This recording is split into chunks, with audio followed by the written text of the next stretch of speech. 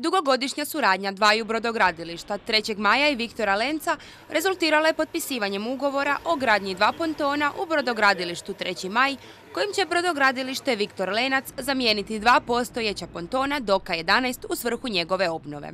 Ovaj danas događaj uključuje dva susjedna brodogradilišta sa riječkog područja, brodogradilište Viktor Lenac kao naručitelja i brodogradilište 3. maj kao graditelja, pokazuje da je brodogradnja na ovom području i tako razvijena i relevantna u kontekstu industrijske proizvodnje Hrvatske, te kao takva treba i nadalje nastaviti, jačati i održavati. Dok 11, iako trenutno nije u funkciji, od velike je važnosti za Viktor Lenac kojem donosi čak trećinu prihoda.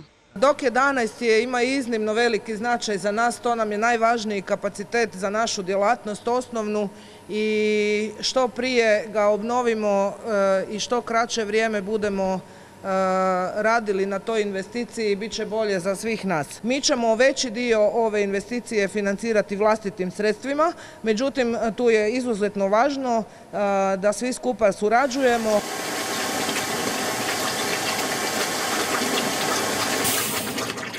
Danas je tako održana svečanost početka rezanja limova prvog pontona Doka 11 za novogradnju 735. Osim za Viktor Lenac, ovaj je projekt neophodan za opstanak brodogradnje u Rijeci i zadržavanje klijenata.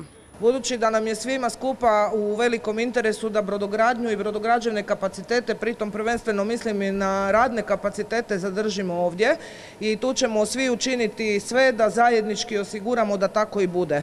Ova će suradnja brodogradilištu 3. maj osigurati da se financijski vrate na noge. Moj prvi posao je bio ovdje u 3. maju i ja sam izrazito ponosan da 3. maj ima šansu da preživi. Osobno sam dao doprinos tome u razgovorima s premijerom. Dogovorili smo nastavak onih brodova gdje su jamstva protestirana.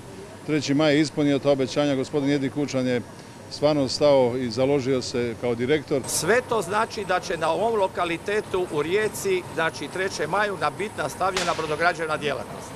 Neosporan je trud koji su svi uložili kako bi se ova ideja realizirala, ali i povjerenje koje je vlasnik Viktora Lenca, Palumbo Grupa, pružila 3. maju.